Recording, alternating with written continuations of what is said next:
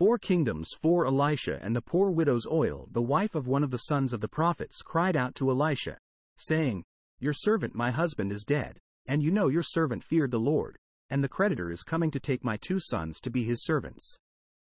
Elisha said to her, What shall I do for you? Tell me what you have in the house.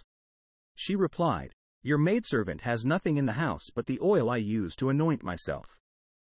Then he said, Go, borrow vessels from everywhere, from all your neighbors, empty vessels. Do not gather just a few. And you shall go in and shut the door behind yourself and your sons. Then you shall pour out into these vessels, and take away what is being filled. So she went from him and did so. She shut the door behind herself and her sons. Then they brought the vessels to her, and she poured until the vessels were filled. And she said to her son, Bring me an additional vessel. And they said to her, There is not another vessel. So the oil ceased. Then she came and told the man of God. And Elisha said, Go, sell the oil and pay your debt. Thus you and your sons shall live by means of the rest of the oil.